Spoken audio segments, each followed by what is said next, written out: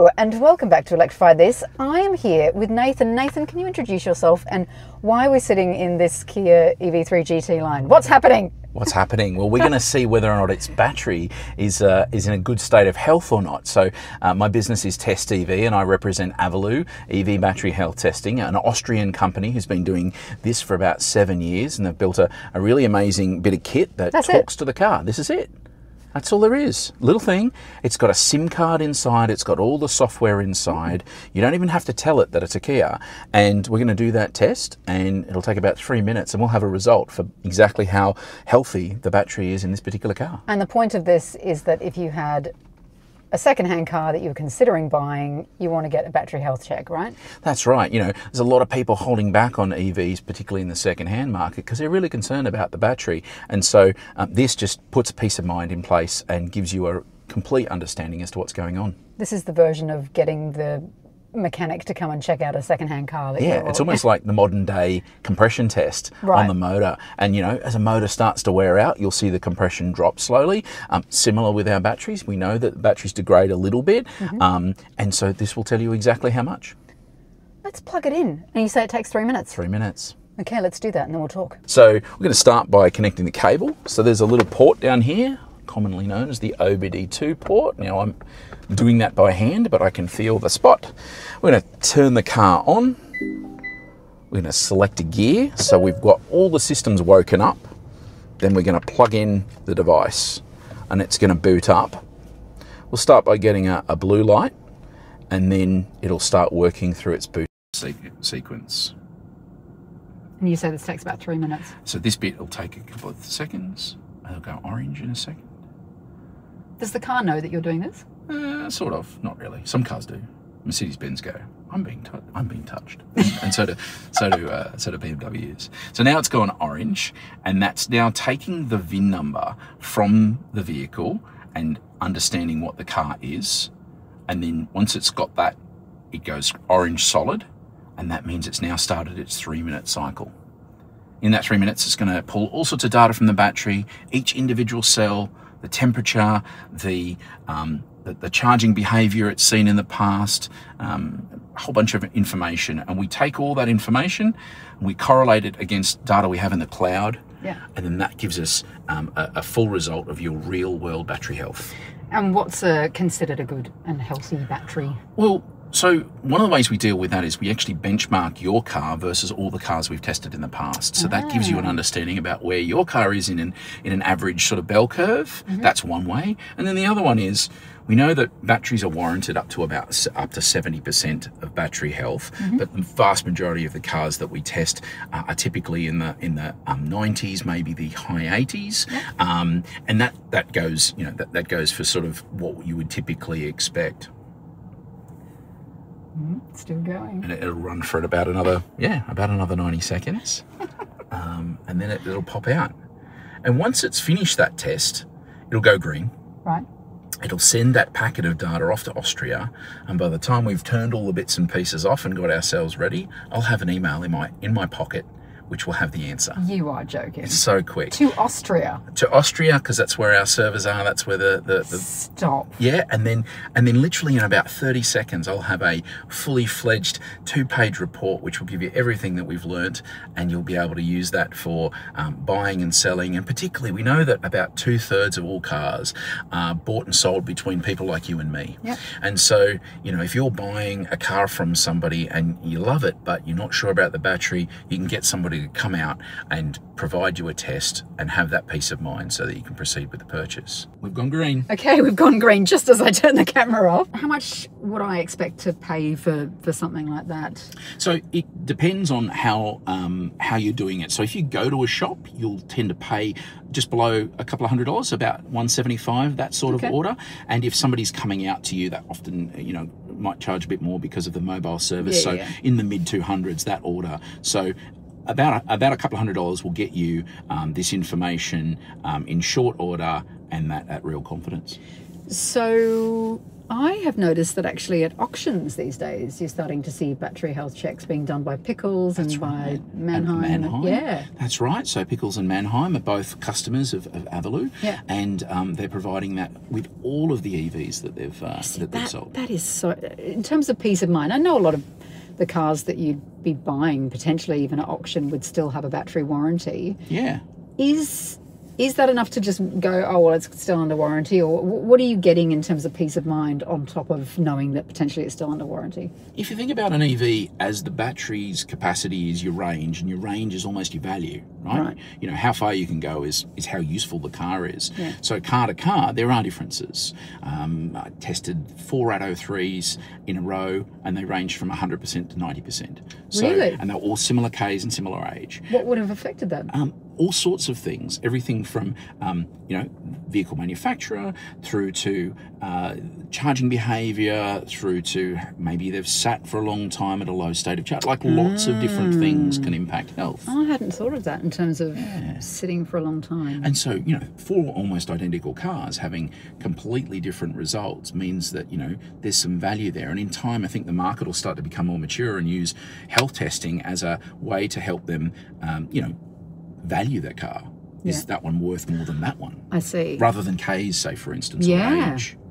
So if I was buying a car and uh, say there were two Atto threes, one had 92% health and then the other one was say 96%, Hmm.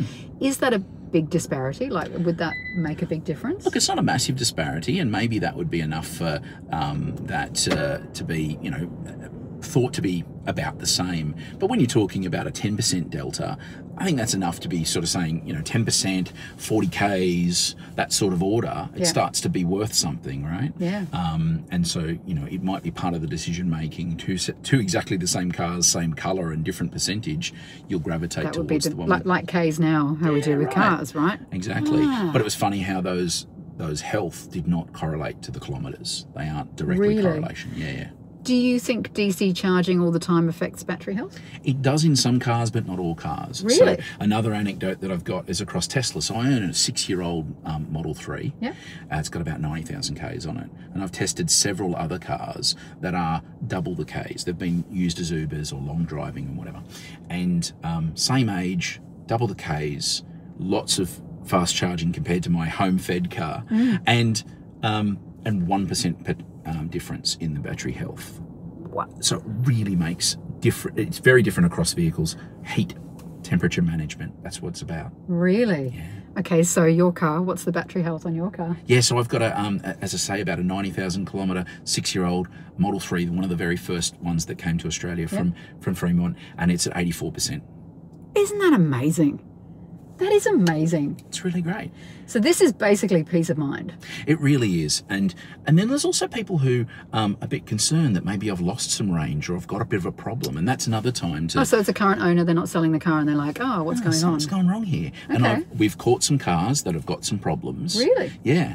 And customers start to find that there's a bit of a drama there, and maybe it's not charging fully anymore, or it's not giving quite the same range. Or So you've actually picked up an issue with the battery that's under warranty and then absolutely. they've had to And we've been that customer's advocate, that independent result that Yeah. they can then take back to the dealership and say, no, actually, I have a problem. Yeah. And that's something that we've had to help them with. Um, and they've had a few challenges with some manufacturers. Really? And uh, and I think you know having that confidence of a of an independent voice is another part of the process. Mm.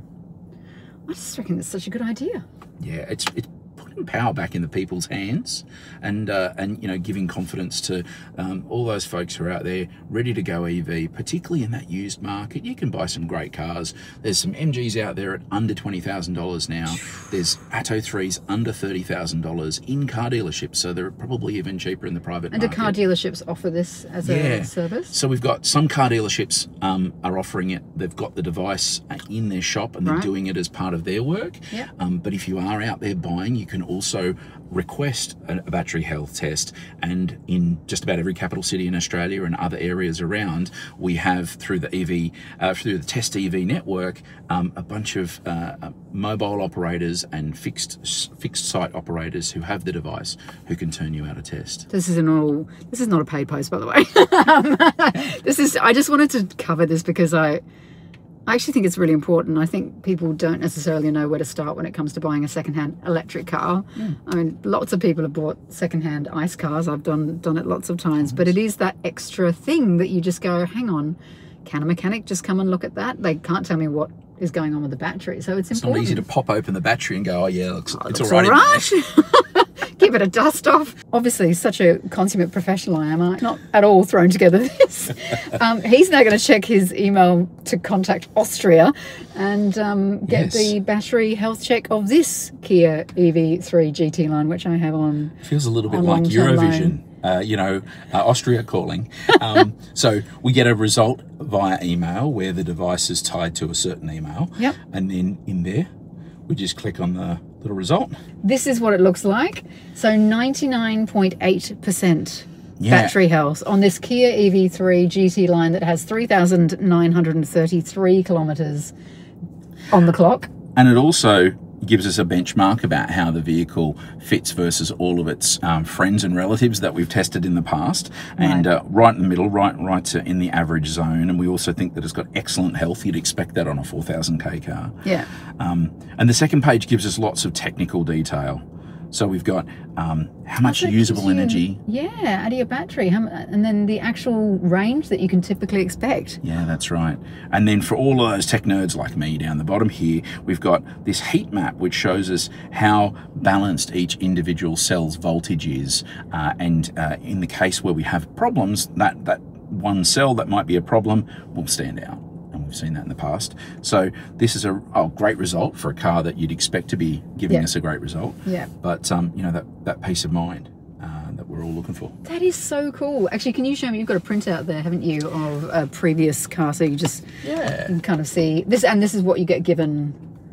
This is what you'd receive. Yeah, This absolutely. is what you give to people. You- Yeah, absolutely. You, you'd receive looks as a bit like of a printout Yeah, um, of the two pages again. You know, so the main high-level data on the first page, Yeah. all the extra bits on the second And then page. the nerdy stuff on the second That's right, and, and then also we, we- you know, in plain language, plain English, we're going to give you that insights. And if you've ever got a problem, we also pop up a box in the bottom corner with a full explanation of what the problem is too.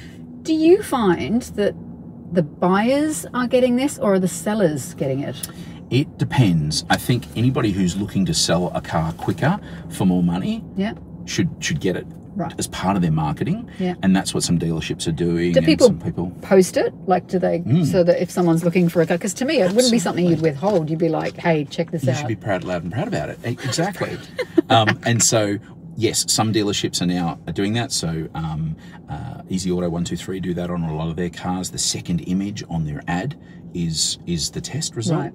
um, which then gives them you know that that sort of leading um, position um, and obviously the, the auction houses a few of the auction houses like pickles are noticed that. doing that, Pickles are doing now that. as well Yeah. and you know buying a car from auction might be another way to get into a really good priced ev if you've got a little bit more of an appetite for risk but that risk is really reduced because you've got the battery health Mm. because test you've got the health check. yeah Nathan, I just learnt so much. it's it, it's it's really like putting the power back in the hands of the people, and I think that's the most important thing. Uh, Yeah. You know, as an AEVA person, as a um, as a Can you person been- explain AEVA? Yeah, to so? Australian Electric Vehicle Association. I'm the Queensland director for that um, organisation, and uh, you know we're the voice of EV owners, Yeah. and we, you know, it's really passionate. I've been in the EV game for ten years now, and I'm really passionate about giving consumers, owners, the opportunity to get you know the best possible driving experience with the best right car for them, just like you do when you're showing them how many Yeah. bottles of wine fit.